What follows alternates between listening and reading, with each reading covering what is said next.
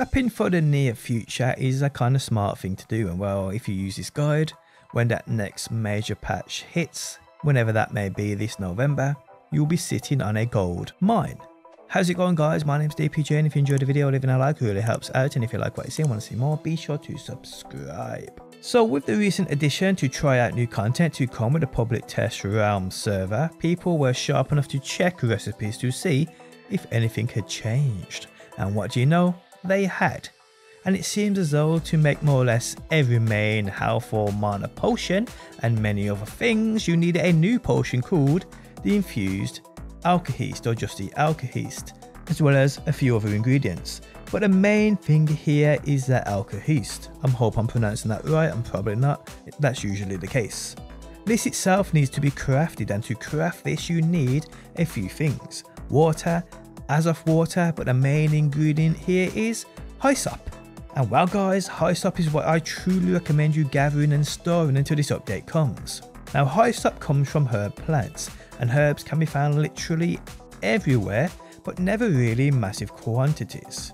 Today I will showcase you some amazing spots, some amazing farming spots, but I will tell you, before you head here and pick a spot to farm, also check your server's trading post for which herbs sell best and use this to influence your decision in where to go to farm. Because herbs behold other exclusive herbs which drop and they are exclusive to that certain area.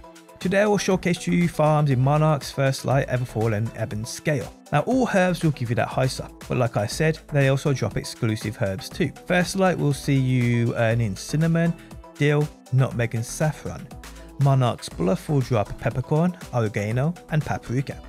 Everfall will drop garlic, sage, and basil, and Ebonscale will drop thyme and ginger. So check your service or prices on these herbs too. If prices are higher on some, you may as well travel to said farms to be more efficient on yourself. But it is up to you. All farms today behold many herb plants, but the best is definitely Ebonscale in terms of quantity.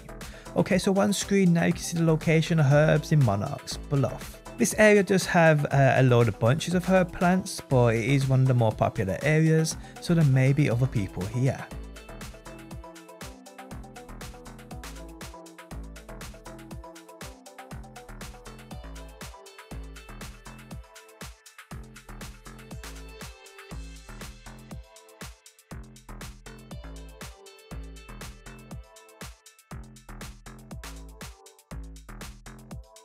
On screen you can see the spot within First Light.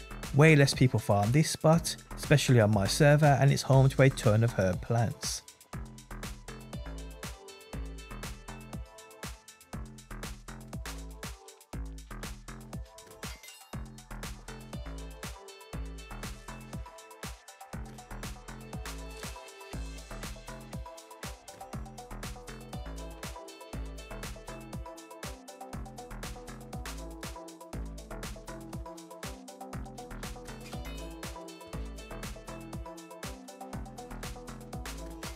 On screen now is a great spot within Everfall. Head here guys and farm that herb.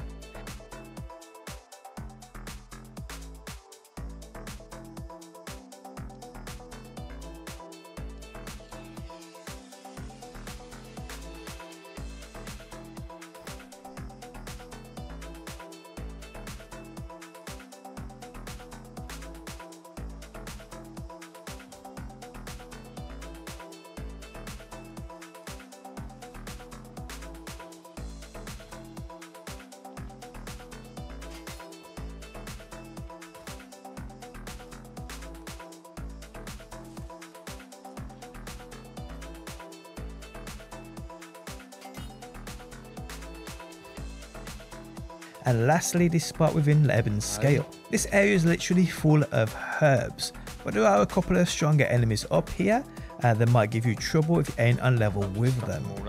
But yeah guys, use these, stack up on that high Hyssop, store it until the update arrives, and then put that up for sale. And I hope this guide helps you out people. On that note, the end of the video has arrived. If you enjoyed it, leaving a like really helps out. If you're new around here and want to see more new world, be sure to subscribe. And if you never want to miss a video I upload, you can turn notifications on by hitting that bell button. But guys, thanks as always for stopping by and hopefully I will see you on that next one.